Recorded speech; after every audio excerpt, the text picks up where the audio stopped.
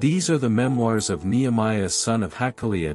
In late autumn, in the month of Kislev, in the twentieth year of King Artaxerxes' reign, I was at the fortress of Susa.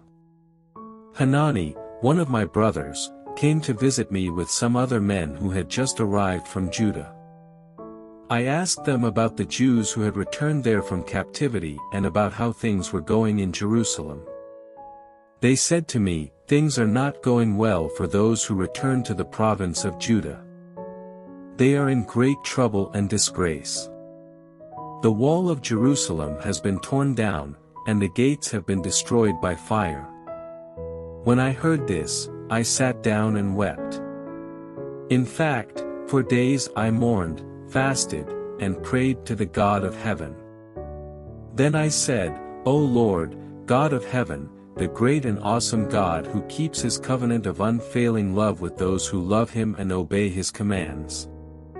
Listen to my prayer. Look down and see me praying night and day for your people Israel.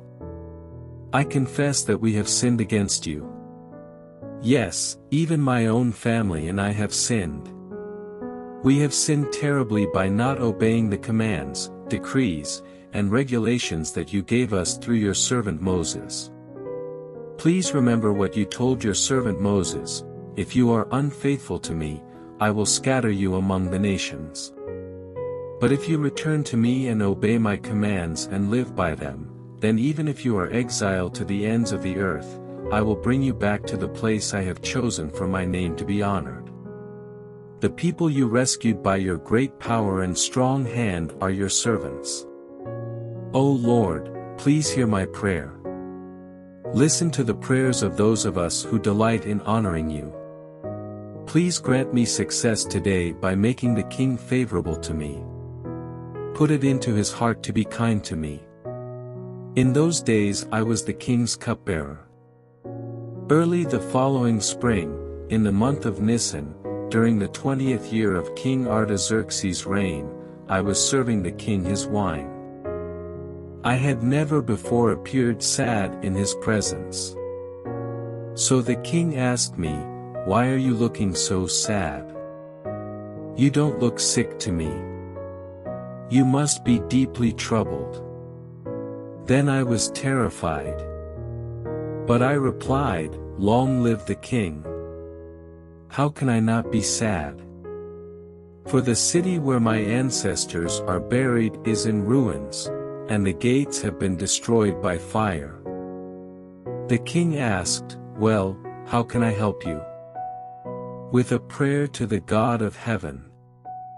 I replied, If it please the king, and if you are pleased with me, your servant, send me to Judah to rebuild the city where my ancestors are buried. The king, with the queen sitting beside him, asked, How long will you be gone? When will you return? After I told him how long I would be gone, the king agreed to my request. I also said to the king, If it please the king, let me have letters addressed to the governors of the province west of the Euphrates River, instructing them to let me travel safely through their territories on my way to Judah. And please give me a letter addressed to Asaph, the manager of the king's forest, instructing him to give me timber. I will need it to make beams for the gates of the temple fortress, for the city walls, and for a house for myself. And the king granted these requests, because the gracious hand of God was on me. When I came to the governors of the province west of the Euphrates River, I delivered the king's letters to them. The king, I should add, had sent along army officers and horsemen to protect me.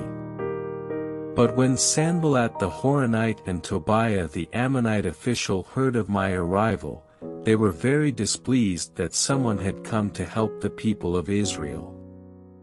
So I arrived in Jerusalem.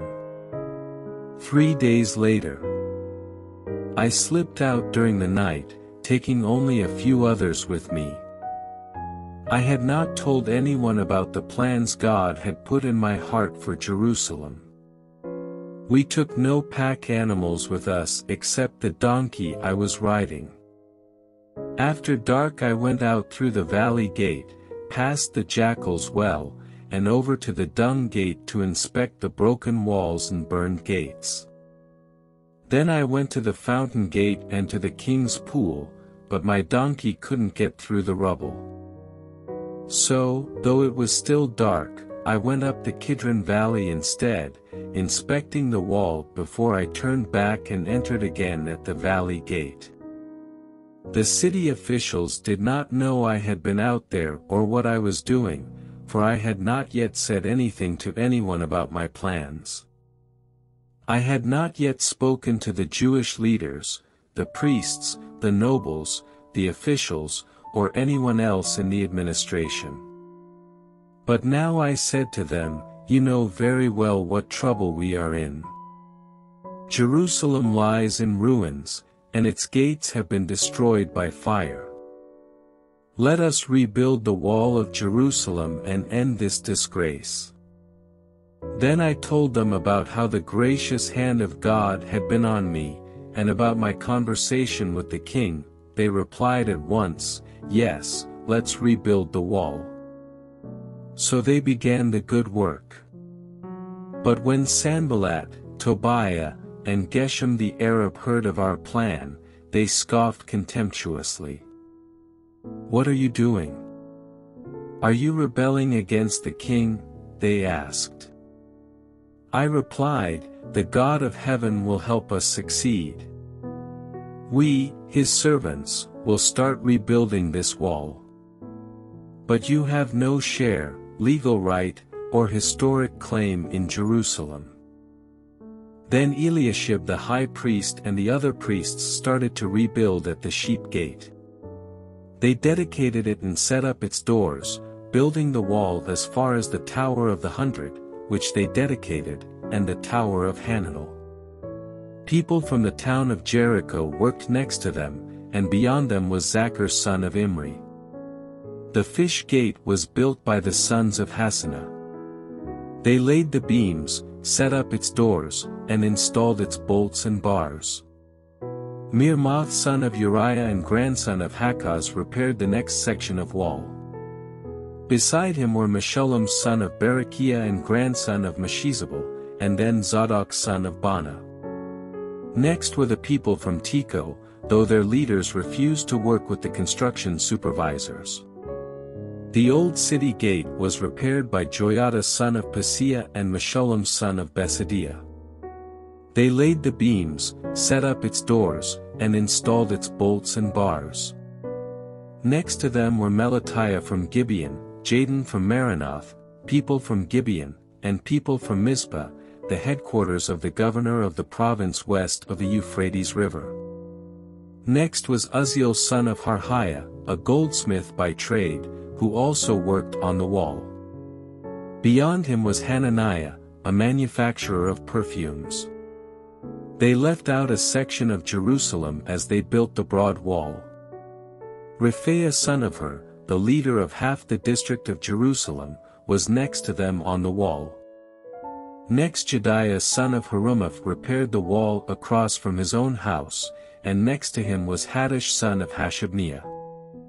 Then came Malchijah son of Harim and Hashub son of Pahath Moab, who repaired another section of the wall and the tower of the ovens. Shallum son of Hallohesh and his daughters repaired the next section. He was the leader of the other half of the district of Jerusalem. The valley gate was repaired by the people from Zanoah, led by Hanan. They set up its doors and installed its bolts and bars. They also repaired the 1,500 feet of wall to the Dung Gate. The Dung Gate was repaired by Malchijah son of Rechab, the leader of the Beth Hakkerem district. He rebuilt it, set up its doors, and installed its bolts and bars. The fountain gate was repaired by Shallum son of Colhoz, the leader of the Mizpah district. He rebuilt it, roofed it, set up its doors, and installed its bolts and bars.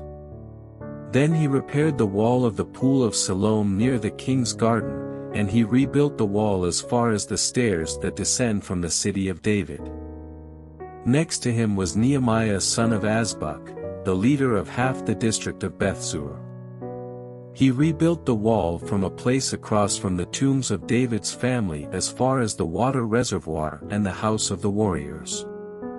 Next to him, repairs were made by a group of Levites working under the supervision of Rehum son of Bani. Then came Hashabiah, the leader of half the district of Keilah, who supervised the building of the wall on behalf of his own district. Next down the line were his countrymen led by Binnui son of Henadad, the leader of the other half of the district of Keilah. Next to them, Ezer son of Jeshua, the leader of Mizpah, repaired another section of wall across from the ascent to the armory near the angle in the wall. Next to him was Baruch son of Zabbai, who zealously repaired an additional section from the angle to the door of the house of Eliashib the high priest. Meremoth son of Uriah and grandson of Hakkoz rebuilt another section of the wall extending from the door of Eliashib's house to the end of the house. The next repairs were made by the priests from the surrounding region. After them, Benjamin and Hashub repaired the section across from their house, and Azariah son of Maaseiah and grandson of Ananiah repaired the section across from his house. Next was Binnui son of Henadad, who rebuilt another section of the wall from Azariah's house to the angle and the corner. Halel's son of Uzai carried on the work from a point opposite the angle and the tower that projects up from the king's upper house beside the court of the guard. Next to him were Pedaiah son of Parash. With the temple servants living on the hill of Ophel, who repaired the wall as far as a point across from the water gate to the east and the projecting tower. Then came the people of Tekoa, who repaired another section across from the great projecting tower and over to the wall of Ophel. Above the horse gate, the priests repaired the wall. Each one repaired the section immediately across from his own house. Next Zadok son of Immer also rebuilt the wall across from his own house, and beyond him was Shemaiah son of Shechaniah, the gatekeeper of the east gate. Next Hananiah son of Shelemiah and Hanan, the sixth son of Zalaph, repaired another section, while Meshullam son of Berechiah rebuilt the wall across from where he lived. Malchijah, one of the goldsmiths, repaired the wall as far as the housing for the temple servants and merchants, across from the inspection gate. Then he continued as far as the upper room at the corner. The other goldsmiths and merchants repaired the wall from that corner to the sheep gate. Sanballat was very angry when he learned that we were rebuilding the wall. He flew into a rage and mocked the Jews. Saying in front of his friends and the Samarian army officers, What does this bunch of poor, feeble Jews think they're doing? Do they think they can build the wall in a single day by just offering a few sacrifices? Do they actually think they can make something of stones from a rubbish heap, and charred ones at that? Tobiah the Ammonite, who was standing beside him, remarked, that stone wall would collapse if even a fox walked along the top of it. Then I prayed, Hear us, our God, for we are being mocked. May their scoffing fall back on their own heads, and may they themselves become captives in a foreign land. 5. Do not ignore their guilt. Do not blot out their sins, for they have provoked you to anger here in front of, see, the builders. At last the wall was completed to half its height around the entire city, for the people had worked with enthusiasm. But when Sanballat and Tobiah and the Arabs, Ammonites, and Ashdodites heard that the work was going ahead and that the gaps in the wall of Jerusalem were being repaired, they were furious. They all made plans to come and fight against Jerusalem and throw us into confusion. But we prayed to our God and guarded the city day and night to protect ourselves. Then the people of Judah began to complain, the workers are getting tired, and there is so much rubble to be moved. We will never be able to build the wall by ourselves. Meanwhile, our enemies were saying, before they know what's happening, we will swoop down on them and kill them and end their work. The Jews who live near the enemy came and told us again and again, they will come from all directions and attack us. So I placed armed guards behind the lowest parts of the wall in the exposed areas. I stationed the people to stand guard by families, armed with swords, spears, and bows. Then as I looked over the situation, I called together the nobles and the rest of the people and said to them, Don't be afraid of the enemy. Remember the Lord, who is great and glorious, and fight for your brothers, your sons, your daughters, your wives, and your homes. When our enemies heard that we knew of their plans and that God had frustrated them, we all returned to our work on the wall. But from then on, only half my men worked while the other half stood guard with spears, shields, bows, and coats of mail. The leaders stationed themselves behind the people of Judah, who were building the wall. The laborers carried on their work with one hand supporting their load and one hand holding a weapon. All the builders had a sword belted to their side. The trumpeter stayed with me to sound the alarm. Then I explained to the nobles and officials and all the people, the work is very spread out, and we are widely separated from each other along the wall. When you hear the blast of the trumpet, rush to wherever it is sounding. Then our God will fight for us. We worked early and late, from sunrise to sunset. And half the men were always on guard. I also told everyone living outside the walls to stay in Jerusalem. That way they and their servants could help with guard duty at night and work during the day. During this time, none of us, not I, nor my relatives, nor my servants, nor the guards who were with me, ever took off our clothes. We carried our weapons with us at all times, even when we went for water. About this time some of the men and their wives raised a cry of protest against their fellow Jews. They were saying, we have such large families. We need more food to survive. Others said, we have mortgaged our fields, vineyards, and homes to get food during the famine. And others said, We have had to borrow money on our fields and vineyards to pay our taxes. We belong to the same family as those who are wealthy, and our children are just like theirs. Yet we must sell our children into slavery just to get enough money to live. We have already sold some of our daughters, and we are helpless to do anything about it, for our fields and vineyards are already mortgaged to others. When I heard their complaints, I was very angry. After thinking it over, I spoke out against these nobles and officials. I told them, you are hurting your own relatives by charging interest when they borrow money.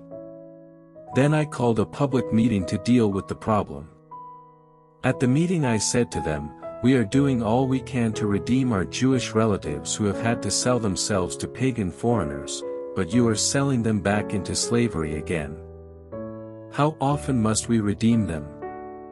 And they had nothing to say in their defense. Then I pressed further, what you are doing is not right. Should you not walk in the fear of our God in order to avoid being mocked by enemy nations? I myself, as well as my brothers and my workers, have been lending the people money and grain, but now let us stop this business of charging interest. You must restore their fields, vineyards, olive groves, and homes to them this very day. And repay the interest you charged when you lent them money, grain, new wine, and olive oil. They replied, We will give back everything and demand nothing more from the people. We will do as you say. Then I called the priests and made the nobles and officials swear to do what they had promised.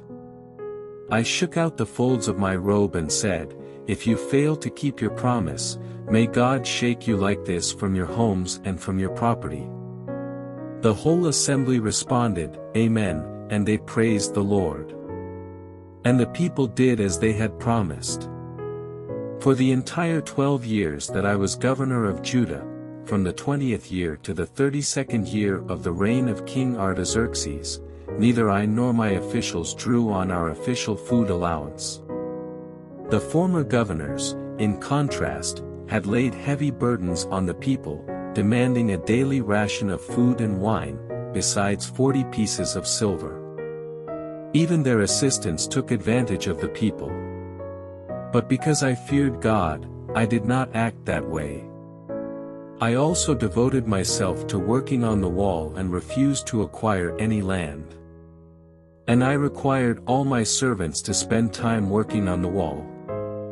I asked for nothing, even though I regularly fed 150 Jewish officials at my table, besides all the visitors from other lands.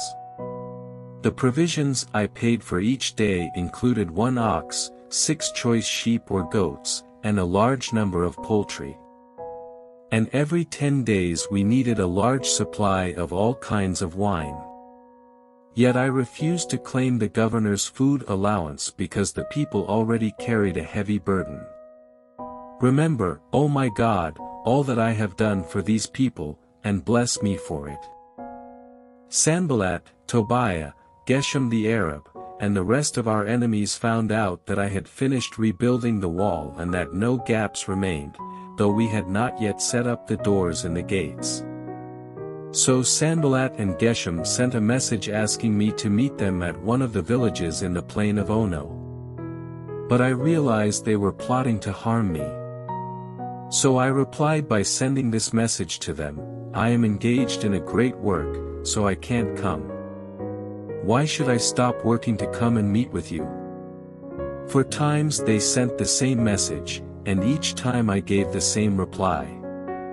The fifth time, Sanballat's servant came with an open letter in his hand. And this is what it said, There is a rumor among the surrounding nations, and Geshem tells me it is true, that you and the Jews are planning to rebel and that is why you are building the wall. According to his reports, you plan to be their king. He also reports that you have appointed prophets in Jerusalem to proclaim about you, Look! There is a king in Judah. You can be very sure that this report will get back to the king, so I suggest that you come and talk it over with me. I replied, There is no truth in any part of your story. You are making up the whole thing. They were just trying to intimidate us, imagining that they could discourage us and stop the work. So I continued the work with even greater determination. Later I went to visit Shemaiah son of Delaiah and grandson of Mehetabel, who was confined to his home. He said, Let us meet together inside the temple of God and bolt the doors shut. Your enemies are coming to kill you tonight. But I replied, should someone in my position run from danger? Should someone in my position enter the temple to save his life? No, I won't do it. I realized that God had not spoken to him, but that he had uttered this prophecy against me because Tobiah and Sanballat had hired him. They were hoping to intimidate me and make me sin. Then they would be able to accuse and discredit me. Remember, O my God, all the evil things that Tobiah and Sanballat have done. And remember Noadiah the prophet and all the prophets like her who have tried to intimidate me. So on October 2nd the wall was finished, just 52 days after we had begun. When our enemies and the surrounding nations heard about it, they were frightened and humiliated. They realized this work had been done with the help of our God. During those 52 days, many letters went back and forth between Tobiah and the nobles of Judah. For many in Judah had sworn allegiance to him because his father-in-law was Shechaniah son of Arah, and his son Jehohanan was married to the daughter of Meshullam son of Berechiah. They kept telling me about Tobiah's good deeds, and then they told him everything I said. And Tobiah kept sending threatening letters to intimidate me. After the wall was finished and I had set up the doors and the gates, the gatekeepers, singers, and Levites were appointed. I gave the responsibility of governing Jerusalem to my brother Hanani, along with Hananiah, the commander of the fortress, for he was a faithful man who feared God more than most. I said to them, Do not leave the gates open during the hottest part of the day. And even while the gatekeepers are on duty, have them shut and bar the doors. Appoint the residents of Jerusalem to act as guards, everyone on a regular watch. Some will serve at sentry posts and some in front of their own homes. At that time the city was large and spacious, but the population was small, and none of the houses had been rebuilt. So my God gave me the idea to call together all the nobles and leaders of the city, along with the ordinary citizens, for registration. I had found the genealogical record of those who had first returned to Judah. This is what was written there. Here is the list of the Jewish exiles of the provinces who returned from their captivity. King Nebuchadnezzar had deported them to Babylon, but now they returned to Jerusalem and the other towns in Judah where they originally lived. Their leaders were Zerubbabel, Jeshua, Nehemiah, Seraiah, Reelaiah, Naamani, Mordecai, Bilshan, Mispar, Bigvai, Rehum, and Bana, this is the number of the men of Israel who returned from exile. The family of Parash. 8172. The family of Shephatiah 372. The family of Arah 652. The family of Pahath Moab, descendants of Jeshua and Joab. 2818. The family of Elam. 1254. The family of Zattu 845. The family of Zakkai 760. The family of Bani 648. The family of Bibai 628. The family of Azgad 2322. The family of Adonikam 667. The family of Bigvai 2067. The family of Adin 655. The family of Ater, descendants of Hezekiah, 98. The family of Hashum 328. The family of Bazai 324. The family of Yorah 112. The family of Gibar 95. The people of Bethlehem and Netophah 188. The people of Anathoth 128. The people of Bethazmaveth 42. The people of Kiriath Jearim, Kephirah, and Beeroth 743. The people of Ramah and Geba 621. The people of Michmash 122. The people of Bethel and Ai 123. The people of West Nebo 52. The citizens of West Elam. 1254. The citizens of Harim 320. The citizens of Jericho 345. The citizens of Lod, Hadid, and Ono 721. The citizens of Sina. 3,930. These are the priests who returned from exile. The family of Jedaiah, through the line of Jeshua. The family of Immer. 1052. The family of Pashur. 1247. The family of Harim. 1017. These are the Levites who returned from exile.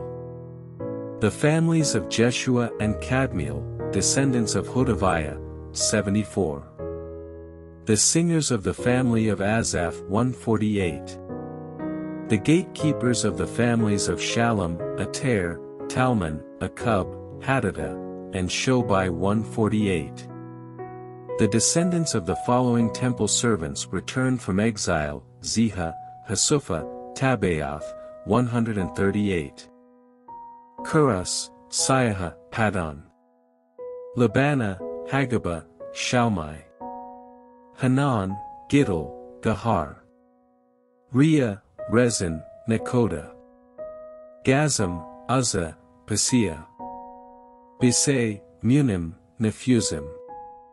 Bakbuk, Hakupha, Harhur. Bazluth, Mehida, Harsha. Barkos, Sisera, Temah. Neziah, and Hatipha. The descendants of these servants of King Solomon returned from exile, Sotai, Hassophereth, Peruda. Jaalah, Darkon, Giddel. Shephatiah, Hattil, Pokereth hazzebaim, and Ami. In all, the temple servants and the descendants of Solomon's servants numbered 392. Another group returned at this time from the towns of Tel Melah, Tel Harsha, Kerub, Addon, and Immer. However, they could not prove that they or their families were descendants of Israel. This group included the families of Delaiah, Tobiah, and Nekoda, a total of 642 people. Three families of priests, Hobaiah, Hakkoz, and Barzillai, also returned. This Barzillai had married a woman who was a descendant of Barzillai of Gilead, and he had taken her family name. They searched for their names in the genealogical records, but they were not found, so they were disqualified from serving as priests. The governor told them not to eat the priest's share of food from the sacrifices until a priest could consult the Lord about the matter by using the Urim and Thummim, the sacred lots. So a total of 42,360 people returned to Judah. In addition to 7,337 servants and 245 singers, both men and women.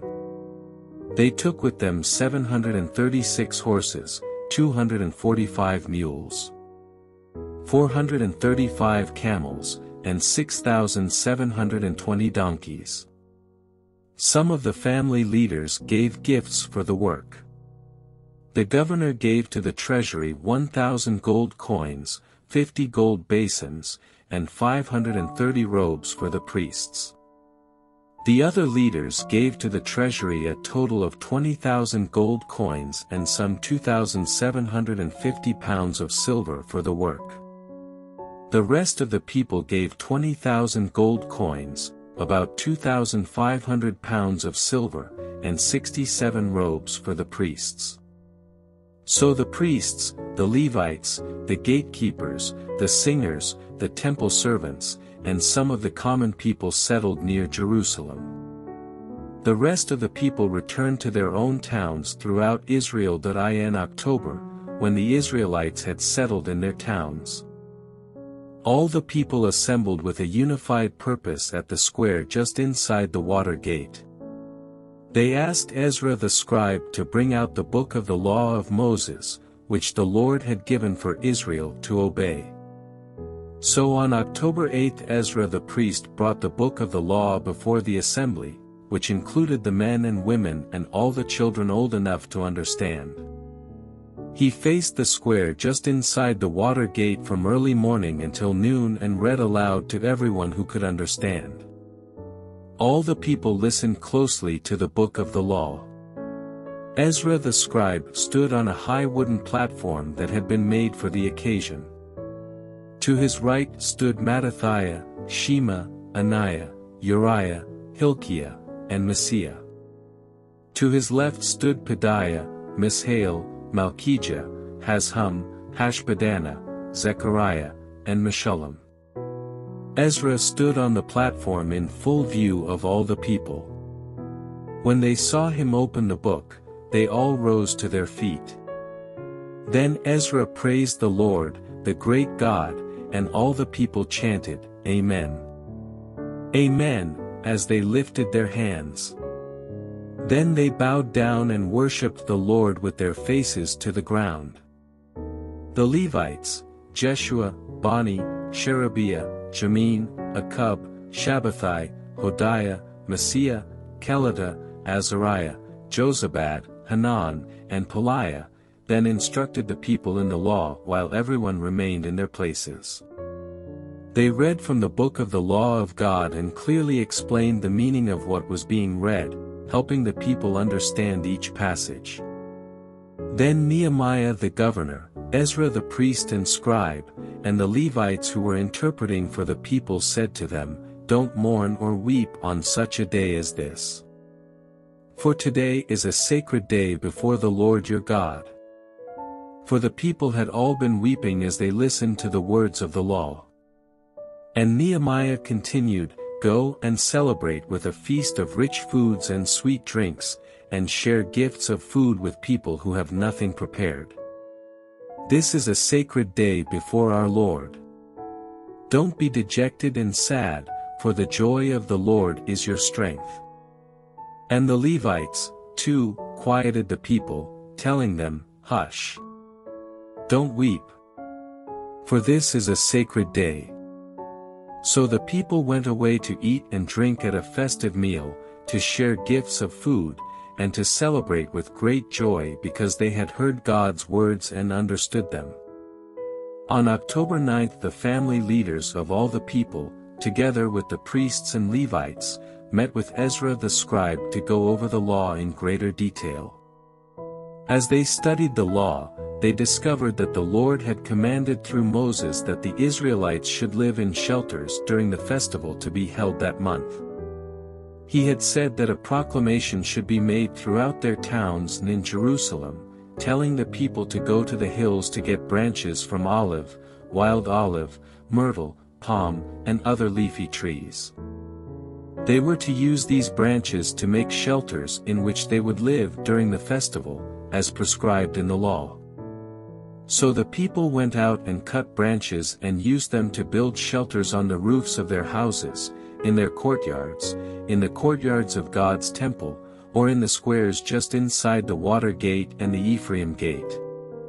So everyone who had returned from captivity lived in these shelters during the festival, and they were all filled with great joy. The Israelites had not celebrated like this since the days of Joshua son of Nun. Ezra read from the book of the law of God on each of the seven days of the festival.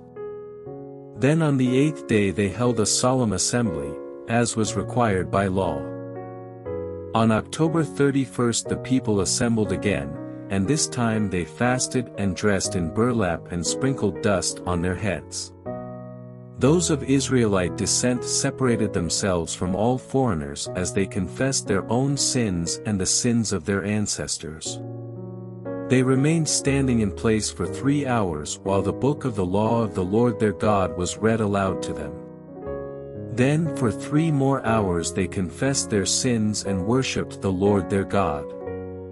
The Levites, Jeshua, Bani, Kadmiel, Shebaniah, Bunni, Sherebiah, Bani, and Kenani, stood on the stairway of the Levites and cried out to the Lord their God with loud voices.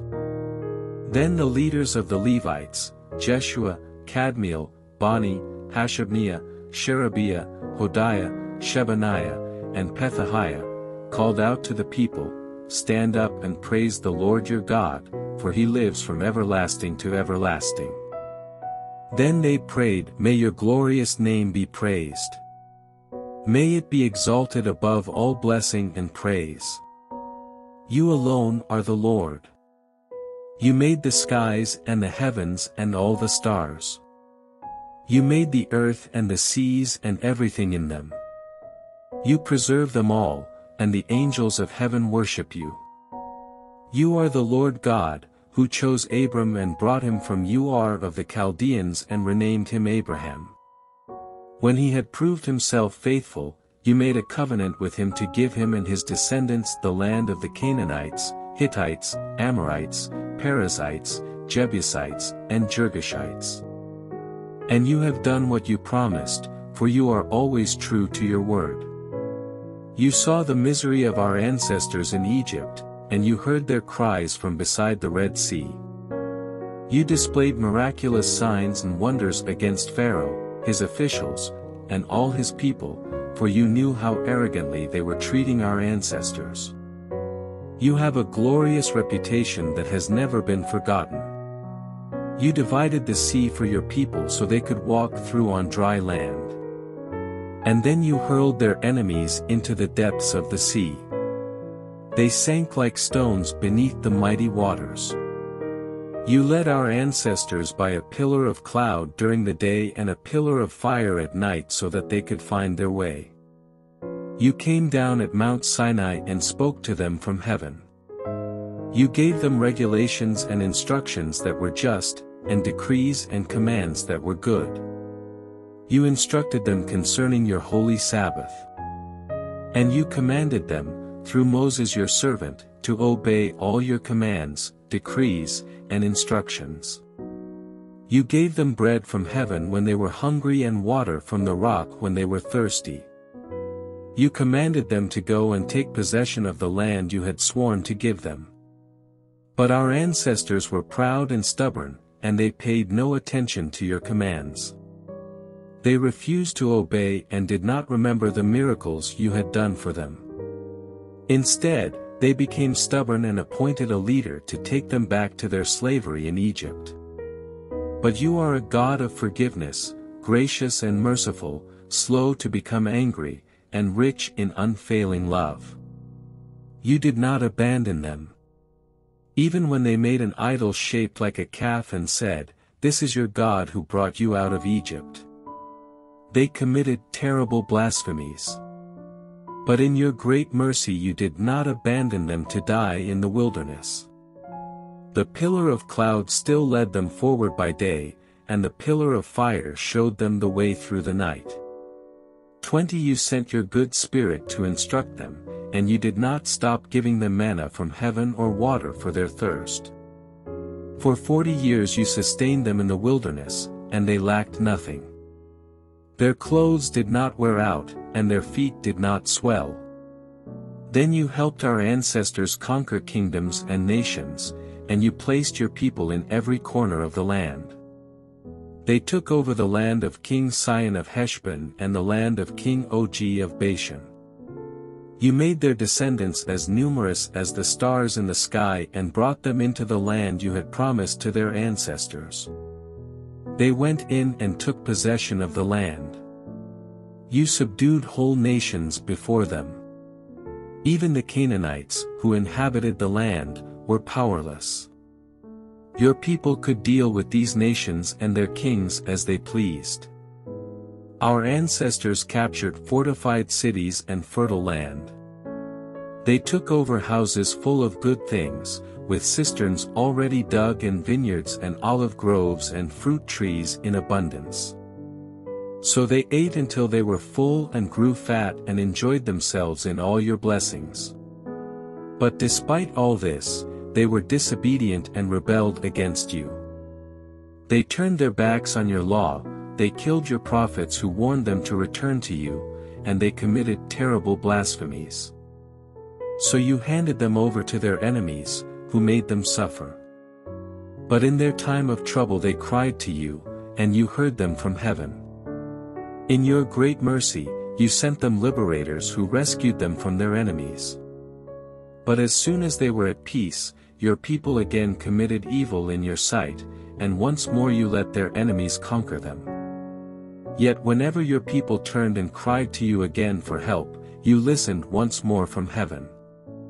In your wonderful mercy, you rescued them many times. You warned them to return to your law, but they became proud and obstinate and disobeyed your commands. They did not follow your regulations, by which people will find life if only they obey.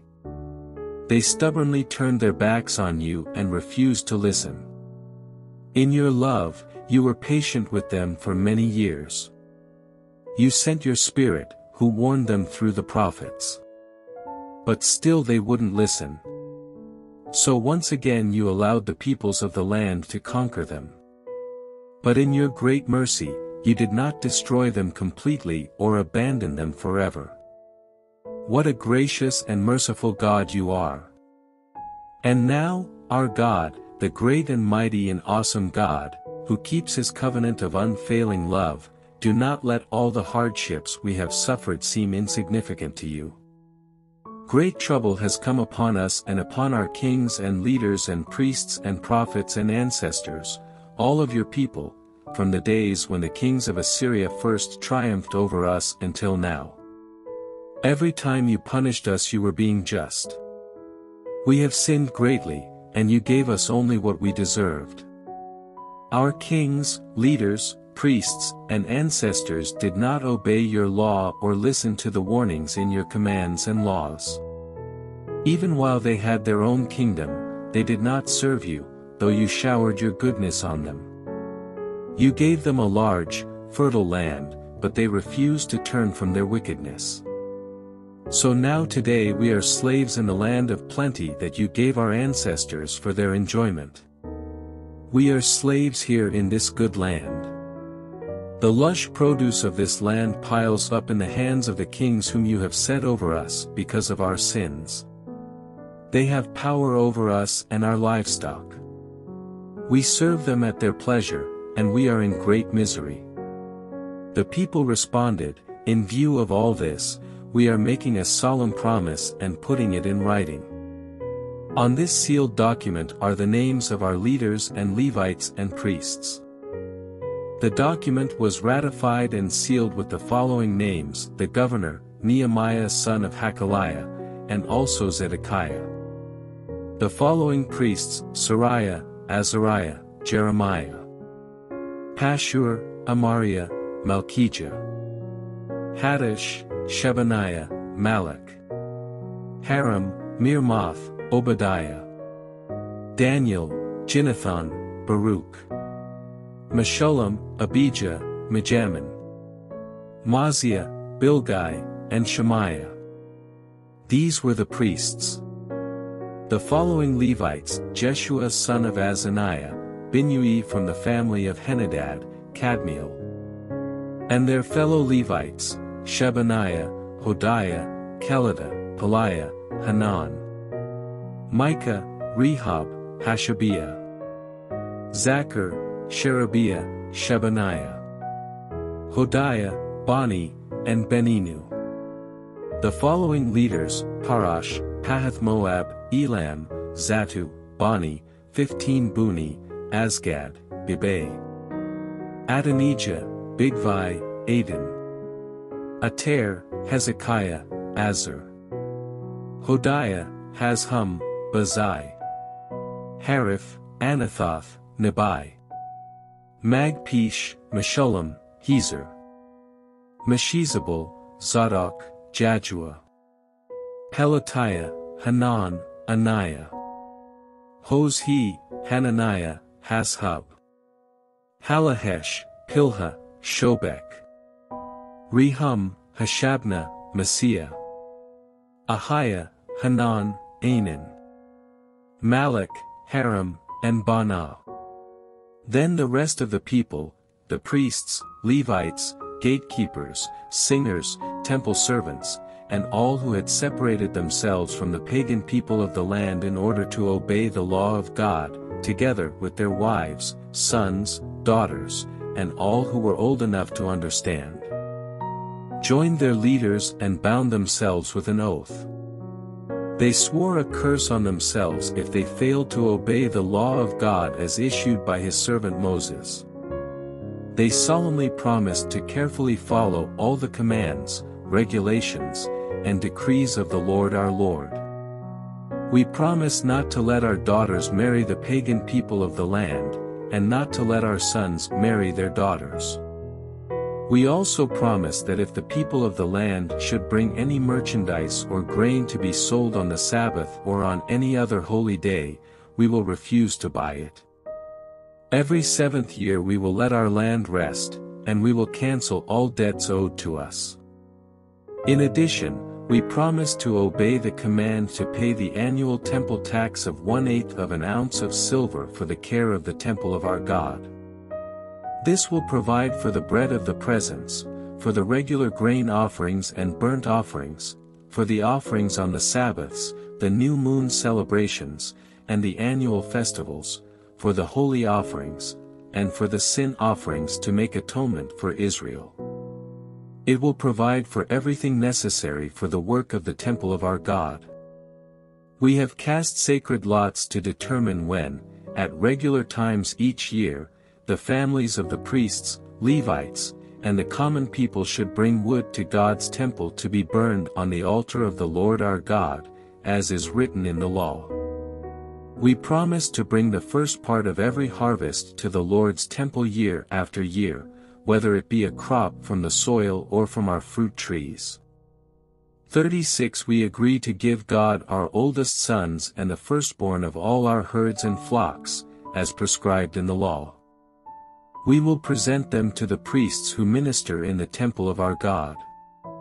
We will store the produce in the storerooms of the temple of our God. We will bring the best of our flour and other grain offerings, the best of our fruit, and the best of our new wine and olive oil. And we promise to bring to the Levites a tenth of everything our land produces, for it is the Levites who collect the tithes in all our rural towns. A priest, a descendant of Aaron, will be with the Levites as they receive these tithes.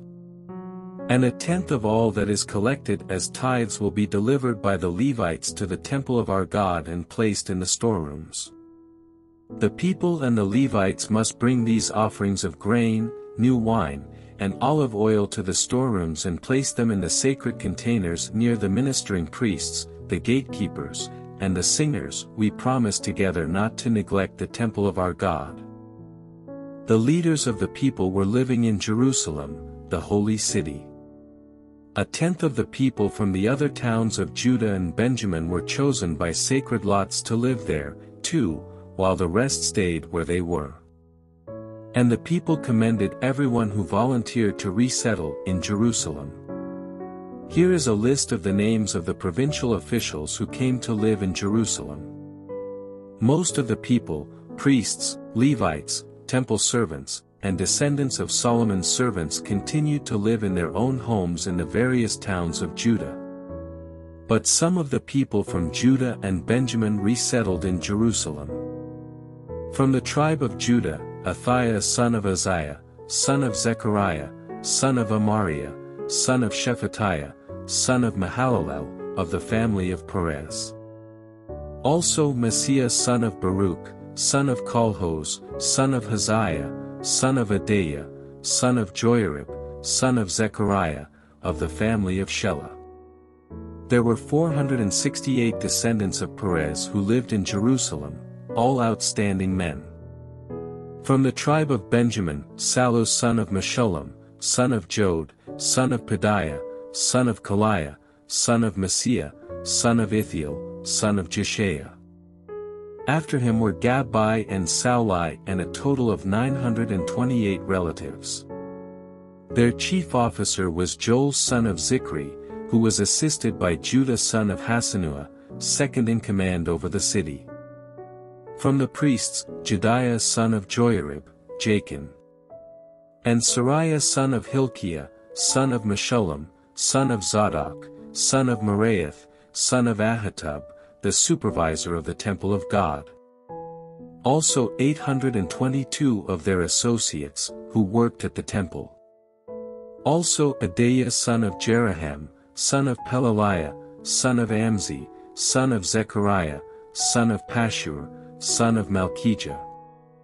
Along with 242 of his associates, who were heads of their families. Also Amashsai son of Azarel, son of Ahzai, son of Meshillemoth, son of Immer. And 128 of his outstanding associates. Their chief officer was Zabdiel son of Haggedolim.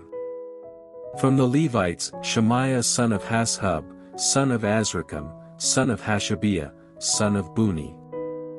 Also Shabbethai and Jozabad, who were in charge of the work outside the temple of God. Also Mattaniah son of Micah, son of Zabdi, a descendant of Asaph, who led in thanksgiving and prayer.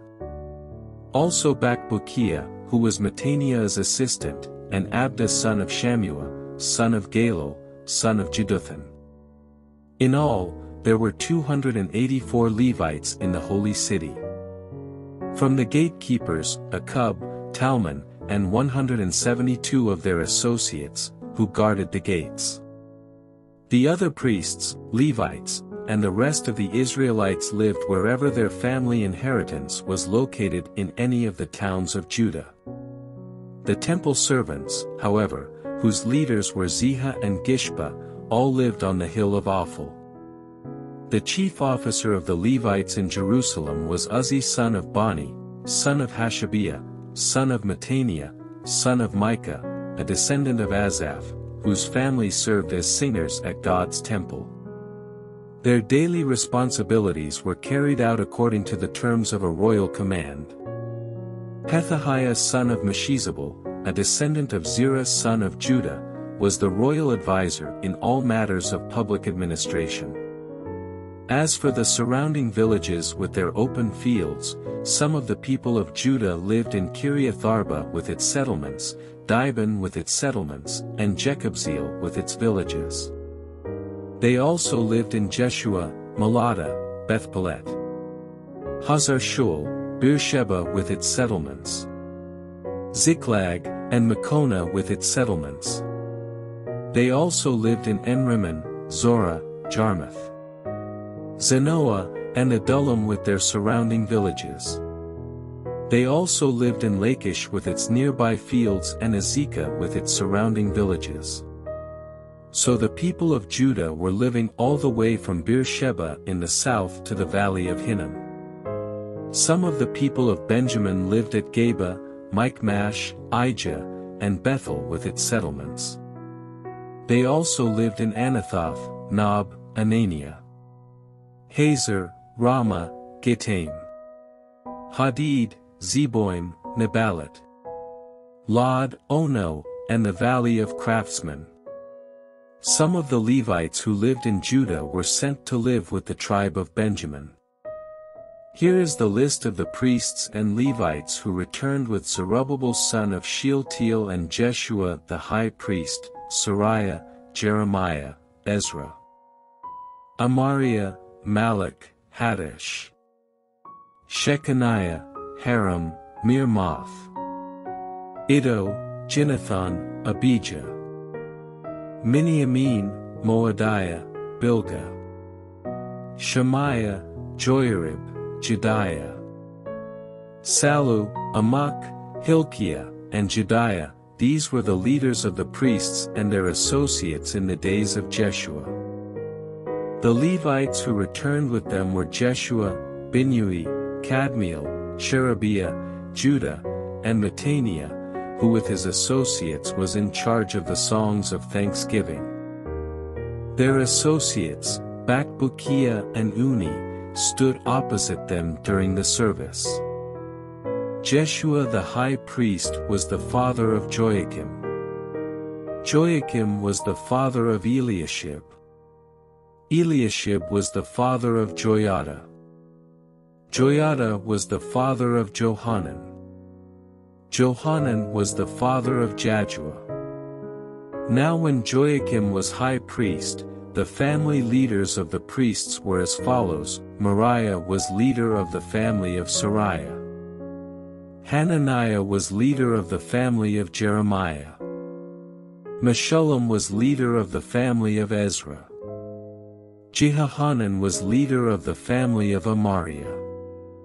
Jonathan was leader of the family of Malluch.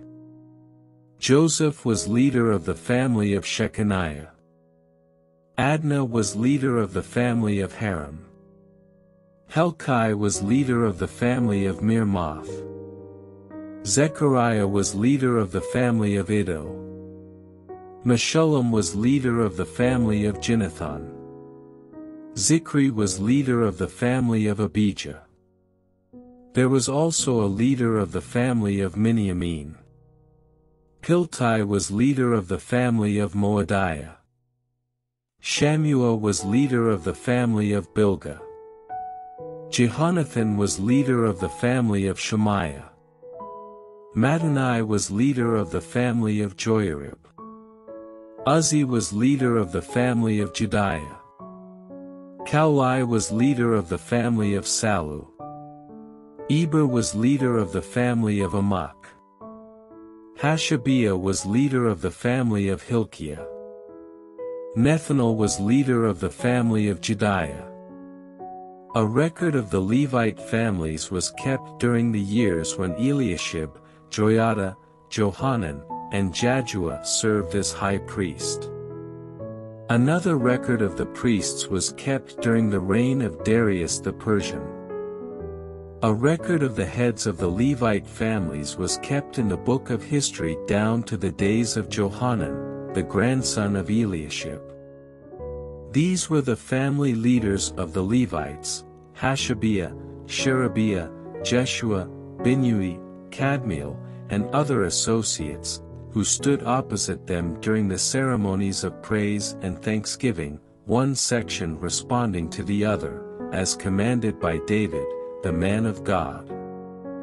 This included Mattaniah, Bakbukiah, and Obadiah, Meshullam, Talmon, and Akkub were the gatekeepers in charge of the storerooms at the gates. These all served in the days of Joiakim son of Jeshua, son of Jehozadak and in the days of Nehemiah the governor and of Ezra the priest and scribe. For the dedication of the new wall of Jerusalem, the Levites throughout the land were asked to come to Jerusalem to assist in the ceremonies. They were to take part in the joyous occasion with their songs of thanksgiving and with the music of cymbals, harps, and lyres. The singers were brought together from the region around Jerusalem and from the villages of the Netophathites. They also came from Beth Gilgal and the rural areas near Geba and Azmaveth, for the singers had built their own settlements around Jerusalem. The priests and Levites first purified themselves, then they purified the people, the gates, and the wall. I led the leaders of Judah to the top of the wall and organized two large choirs to give thanks. One of the choirs proceeded southward along the top of the wall to the dung gate. Hoshaiah and half the leaders of Judah followed them along with Azariah, Ezra, Meshullam. Judah, Benjamin, Shemaiah, and Jeremiah. Then came some priests who played trumpets, including Zechariah son of Jonathan, son of Shemaiah, son of Mattaniah, son of Micaiah, son of Zaccur, a descendant of Asaph. And Zechariah's colleagues were Shemaiah, Azarel, Milalai, Gilalai, Maai, Nethanel, Judah, and Hanani. They used the musical instruments prescribed by David, the man of God. Ezra the scribe led this procession. At the fountain gate they went straight up the steps on the ascent of the city wall toward the city of David. They passed the house of David and then proceeded to the water gate on the east. The second choir giving thanks went northward around the other way to meet them. I followed them, together with the other half of the people, along the top of the wall past the tower of the ovens to the broad wall. Then past the Ephraim gate to the old city gate, past the fish gate and the tower of Hananel, and on to the tower of the hundred. Then we continued on to the sheep gate and stopped at the guard gate. The two choirs that were giving thanks then proceeded to the temple of God, where they took their places. So did I, together with the group of leaders who were with me. We went together with the trumpet-playing priests, Eliakim, Maaseiah, Miniamin, Micaiah, Elioenai, Zechariah, and Hananiah. And the singers, Maaseiah, Shemaiah, Eleazar, Uzzi, Jehohanan, Malchijah, Elam, and Ezer. They played and sang loudly under the direction of Jezrahiah the choir director.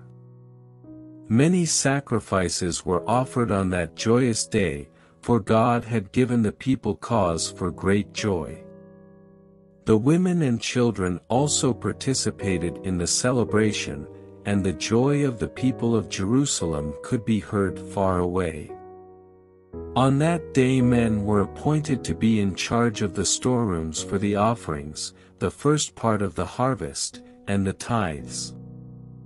They were responsible to collect from the fields outside the towns the portions required by the law for the priests and Levites. For all the people of Judah took joy in the priests and Levites and their work.